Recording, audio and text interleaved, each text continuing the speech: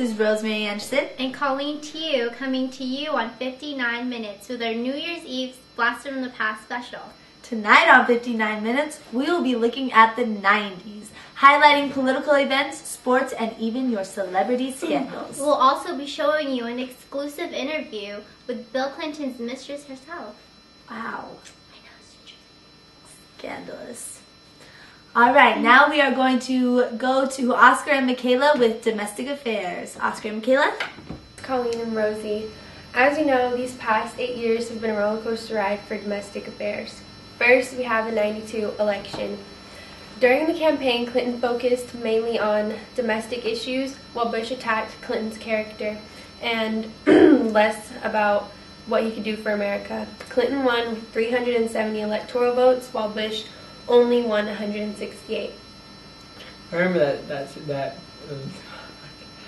Um, I remember that. It must have been such a surprise to Clinton and to the American public that he won by such a landslide, considering that it was Bush's second term. Another surprise was when he admitted to the Monica Lewinsky affair later on in his presidency. I remember that situation. I could not believe that our president would do such a thing, to have an affair and to be unfaithful to our first lady. It for. On in the show, we're going to have an interview with Monica Lewinsky about the whole affair situation. Okay, next we have um, in 1993. On February 26, 1993, the World Trade Center was bombed. Six people were killed and a thousand were left injured. Four defendants were later convicted and sentenced to 240 years in jail and each fined $250,000. In 97, there was a Heaven's Gate mass suicide in Rancho Santa Fe near San Diego, California. 39 members, ranging from teenagers to the elderly, committed suicide thinking they'd be sent up to the spaceship behind the passing Hale-Bopp comet. Lastly, on April 20th, 1999, Eric Harris and Dylan Klebold of Columbine High School in Littleton, Colorado, killed 12 students and a teacher. Then they later killed themselves. The Columbine attack was a complete shocker to me. I, I could not comprehend how two students could take the lives of 12 students and a teacher. If something like this could happen in Colorado, it could happen in California. That was definitely a tragedy. So, this is Michaela and Oscar with Domestic Affairs. Now back to Colleen and Rosie. Thank you, Oscar and Michaela. Wow, you know that Columbine tragedy was was so sad. I remember when that happened. Yeah, you know, stuff, horrible stuff. So what do you what do you think about this whole blink Bill Clinton and um, Oh my gosh, I think that you know, I think that he was a great president, He was. but you know but he, people just totally blew this whole thing out of Out of proportion. proportion, You know, right. sometimes a guy just needs a really good. Yes. anyway.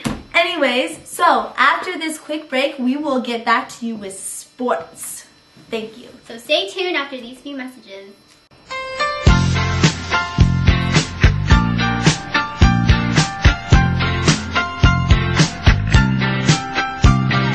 Just one look, and I feel so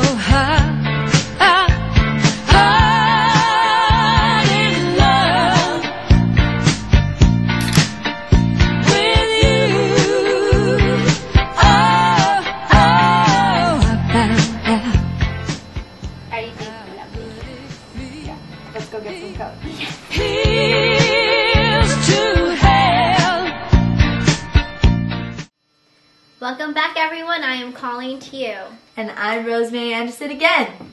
And now we will be going to Alejandro Martinez and Oscar Rodriguez for sports. Alex and Oscar. Take it away.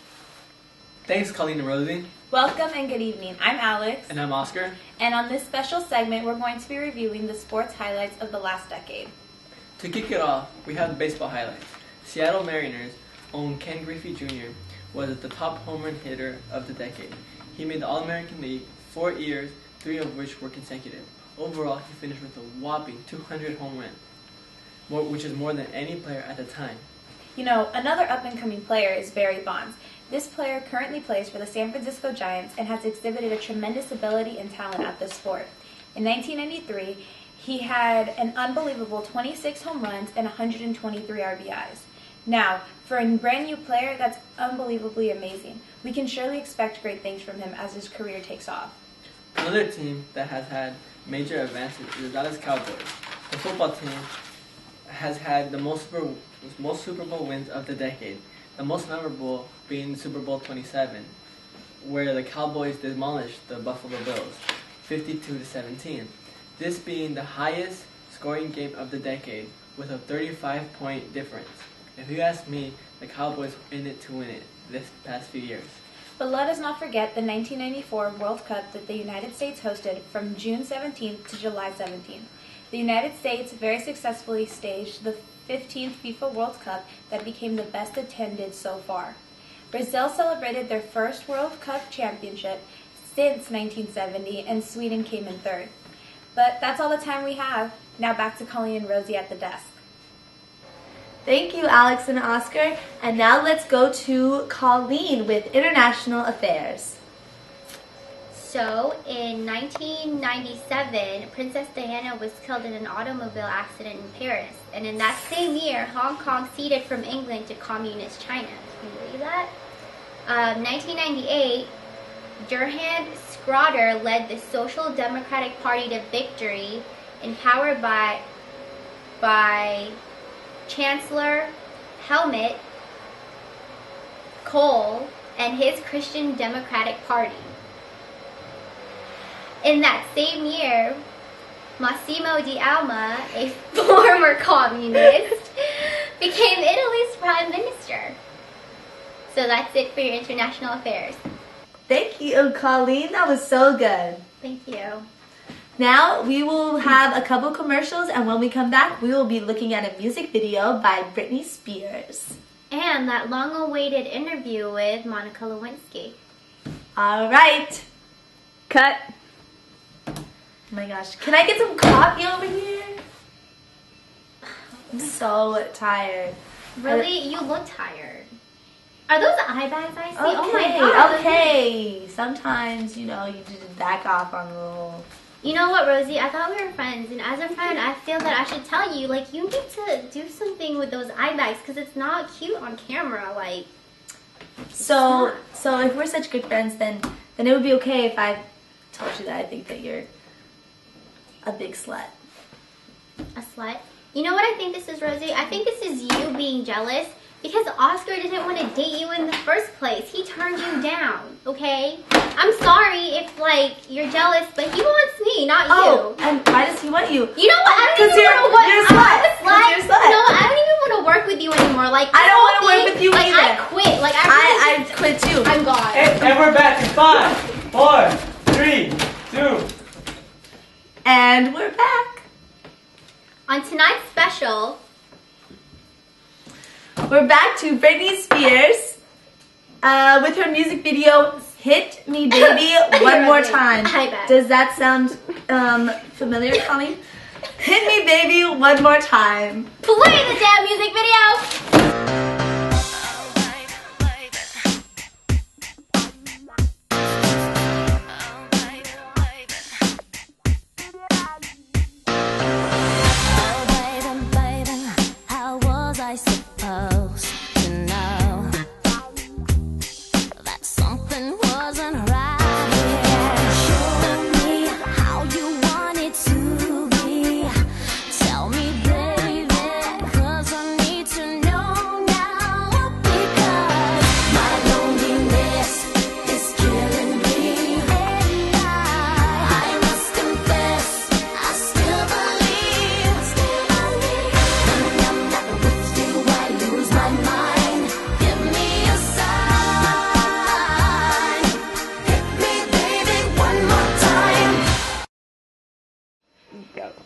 Good job, Britney Spears. That was a good song. Again, that was Hit Me Baby One More Time.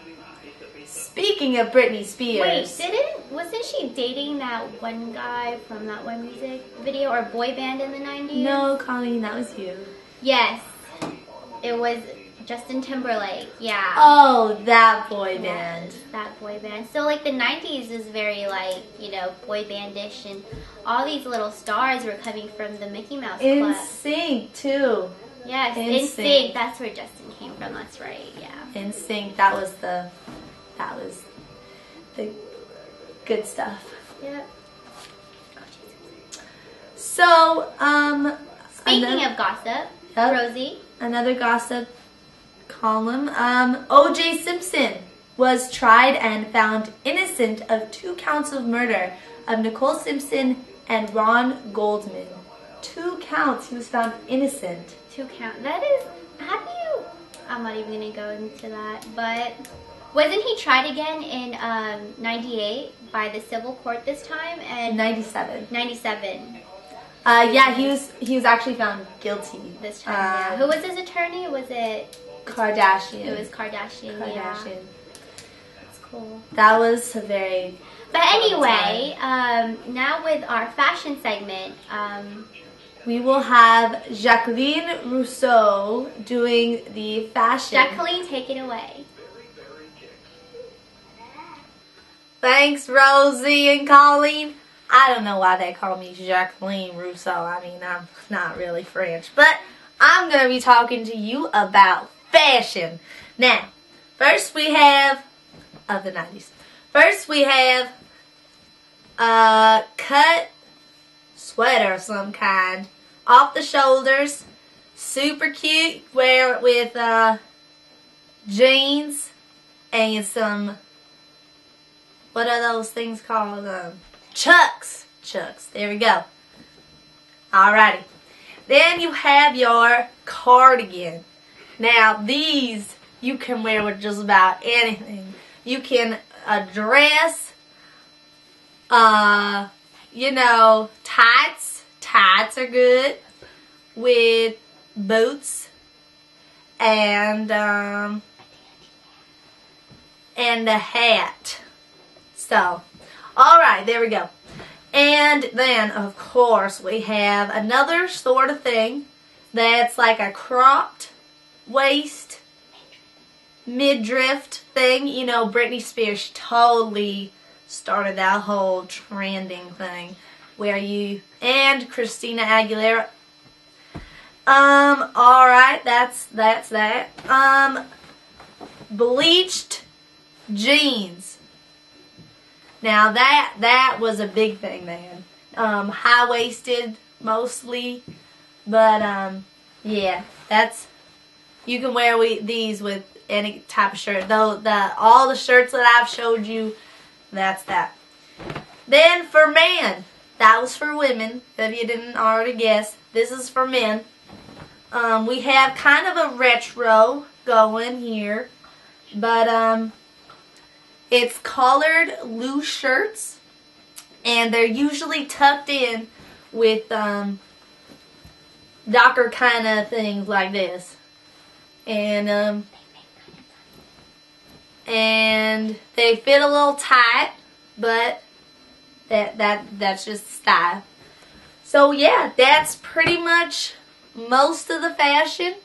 Now let's go back to uh, you, Rosie and Colleen. Thank you, Jackie, for that great segment on fashion from the 90s. Now we have the original trailer from the Disney movie Aladdin. That dates all the way back from 1992.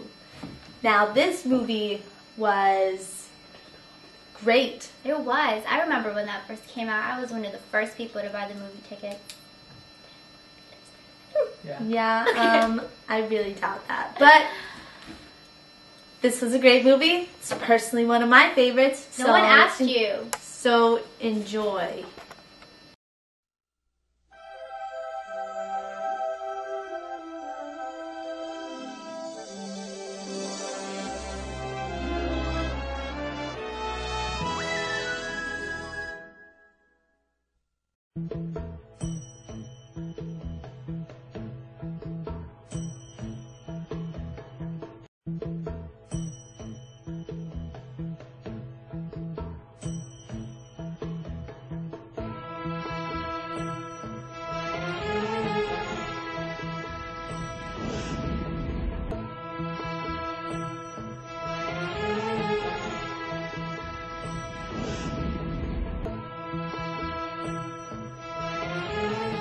Trust me?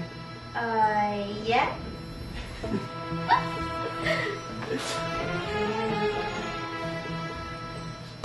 I can show you the world. Shining, shimmering, splendid. Tell me, princess, now when did you last let your heart decide? That was a great trailer, wasn't it? Yes, it was. Now for the long-awaited interview with Monica Lewinsky by our one and only Felipe Ronaldo. Felipe, take it away. Thank you, Rosie and Colleen. I'm Felipe. This is Monica. Lewinsky. Hi. Thanks for having me. Uh, Monica, today I have a couple questions for you regarding your uh, affair with um, our president. Okay. Uh, do you think your actions affected the presidency from the standpoint of decision making?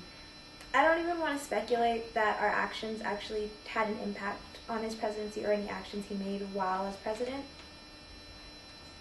Um, when was the last time you spoke to our president, Bill Clinton? It was around the end of January I actually called him to get a recommendation letter for a Revlon job. Uh, do, you, do you have any last words to the public and to the Clinton family for your actions? I do recognize where I went wrong, and I do not expect for Chelsea or Hillary Clinton to forgive me, but I want them to know that I do sincerely apologize for my actions and for the pain that I caused them. Thank you, Monica. That's all we have for today. Back to you, Rosie and Colleen. So that concludes our New Year's Eve Blast from the Past special for the night. I'm Colleen to you. And I'm Rosemary Anderson. Tune in next week for another segment of 59 minutes.